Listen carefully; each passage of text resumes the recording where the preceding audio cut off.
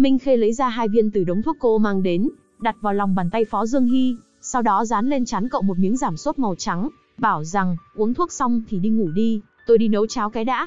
Phó Dương Hy nhìn mãi theo cô, ngắm chằm chặp cảnh cô nấu cháo, chẳng rời mắt. Bỗng nhiên, Phó Dương Hy mở miệng ra, giọng khàn đặc, thành tích cậu tốt như vậy, có quen ai trong đội thi đấu của trường không? Đội tuyển trường Hà. Tôi biết mấy người, tuổi trẻ hừng hực khí thế chiến đấu, thường xuyên đoạt giải, rất lợi hại. Phó Dương Hy hỏi, nữ sinh chắc là thích kiểu như họ nhỉ? Minh Khê nghĩ đến số lượng thư tình mà Thẩm Lệ Nghiêu nhận được khi trước, cứ qua cuối tuần là số thư nhét trong hộp bàn có thể đổ đầy một thùng rác. Cậu ta hẳn là người đứng đầu toàn trường, chẳng có ai xếp thứ hai. Vì thế, cô trả lời, đại đa số nữ sinh hẳn là thích. Sau lưng cô im bặt. Bàn tay Phó Dương Hy thả lỏng bên trong tấm chăn bất chợt lặng lẽ siết chặt lại.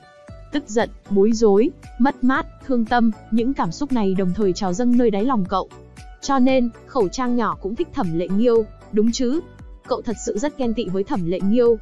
Cậu thấy khổ sở chết đi được, Minh Khê thấy cậu bỗng rũ đầu, ỉu xìu, thẫn thờ đứng lên đi vào phòng ngủ. Cô bưng bát cháo nhìn cậu. Sao thế? Ăn cháo xong hãng ngủ. Phó Dương Hy chẳng buồn hé răng, ù chăn lết vào phòng, quấn người thành một con gấu, rúc đầu vào trong. Minh Khê nghĩ, chắc là cậu không thoải mái, uống thuốc xong người ngợm mới mệt mỏi dã rời. Vì vậy cô đặt báo cháo lên chiếc tủ cạnh đầu giường nói, khi nào có sức thì dậy ăn một chút đi, còn một ít ở bình giữ nhiệt đấy. Minh Khê thấy thế, cũng không tiện ở lại thêm nữa. Trước khi đi về, cô thấy điện thoại của Phó Dương Hy gần đó. Minh Khê chợt chú ý đến việc trên chiếc di động không còn ốp điện thoại nữa. Chẳng phải là ốp của bang phái sao? Sao lại tháo ra mất rồi? Minh Khê liếc nhìn hai lần chiếc điện thoại không còn mang ốp y chang máy cô nữa. Cơn hụt hẫng trong lòng chẳng biết này nở từ đâu. Có thể đây là ảo giác của cô, nhưng Phó Dương Hy hôm nay hình như có vẻ xa lạ hơn trước, lại để mình gọi là cậu Phó. Ngay sau đó, Minh Khê cảm thấy nguyên nhân chắc là vì lên cơn sốt nên khó chịu.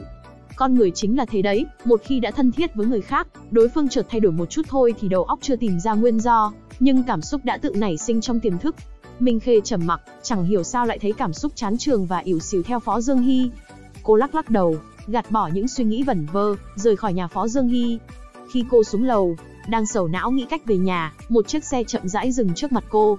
Luật sư Trương từng gặp mặt nhô đầu ra từ ghế lái nói, cô Triệu, ngoài trời đang mưa, cậu phó nhờ tôi đưa cô về nhà. Cùng lúc đó ở nhà họ Triệu, mọi người đều nghĩ cách để Triệu Minh Khê thay đổi quyết định của mình.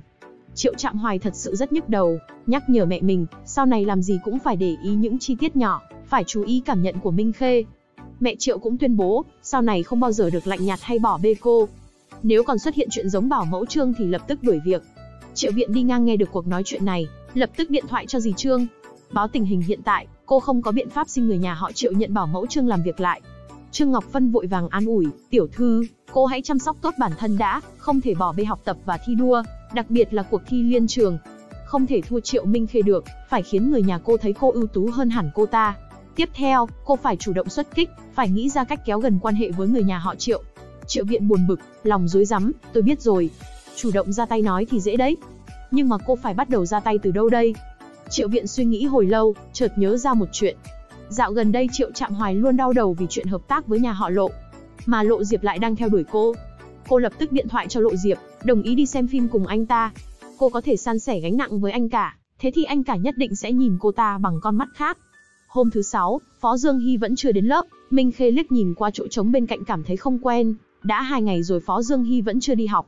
Lúc này cánh cửa phòng học bên ngoài mở ra, Phó Dương Hy bước vào, Cậu vừa đến chỗ ngồi, không hó hé nửa câu, chẳng chào hỏi Kha Thành Văn, Khương Tu Thu hay Triệu Minh Kê, mà đã úp mặt trên bàn, vẻ mặt vô cùng ủ rũ Minh Khê nhìn Phó Dương Hy nằm im lìm, mái đầu đỏ không yêu nổi ấy, thầm nhủ trong lòng. Rốt cuộc là làm sao vậy? Phó Dương Hy lúc này tâm tình không tốt, cả điện thoại và gối ôm của cậu đều bị đánh rơi xuống đất vào tối thứ tư, khi cậu cuống cuồng phi vào phòng tắm gội đầu. Điện thoại bị vỡ nứt, còn gối ôm ướt đẫm, Minh Khê thấy Phó Dương Hy chẳng nói chẳng rằng, lo lắng nói, có phải cậu bị đắng miệng không? Ăn kẹo nhé. Minh Khê nhẹ nhàng lay người đánh thức Phó Dương Hy. Không ăn, né xa tôi ra đi.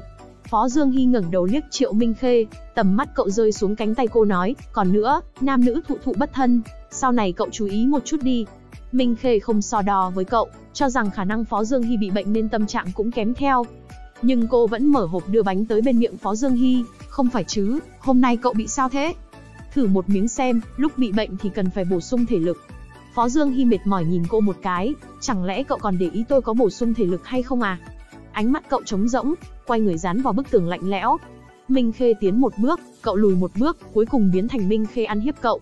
Tay cô đặt lên thành ghế, vây cậu vào tường, ép cậu ta mau ăn một miếng, còn cậu thì tỏ vẻ sống chết không chịu làm theo. Ánh mắt kỳ quái của cả lớp đều bắn về phía này, hóng hớt biến của trùng trường và học sinh chuyển lớp.